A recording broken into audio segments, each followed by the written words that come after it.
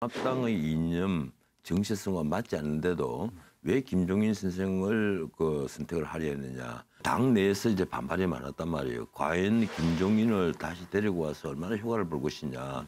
중도 쪽으로 외연을 넓힌 데는 도움이 되겠지만 오히려 아직도 여기 친박 비박 간의 뿌리에 어? 그 앙금이 남아 있고 그 가령 자유공화당이라는 친박 정당이 있고 친박 신당도 있고 친박 연대라는 것도 있고 이렇기 때문에 정당 투표에서 표가 날아갈 가능성도 있다.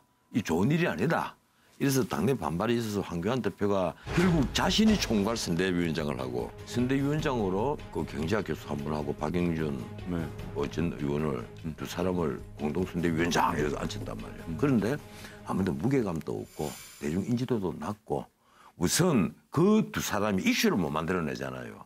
그 공동 선대위원장 박영준 전 의원도 이슈를 만들어내지 못하거든요.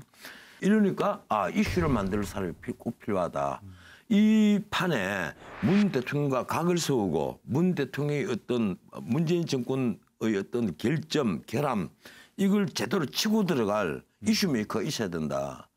그래서 다시 김종인 선생이 부각이 된 거예요. 오늘 벌써 이 대통령의 그 경제 문제 이슈를 만들어내는데 뭔가 하면 대통령이 경제 정책을 공격을 할 때 그냥 공격을 하면 사람들 아, 의뢰의 야당이니까 공격하는구나 이렇게 생각하잖아요. 근데 그게 아닙니다. 딱 이분 한 얘기는 민불론으로는 안 돼.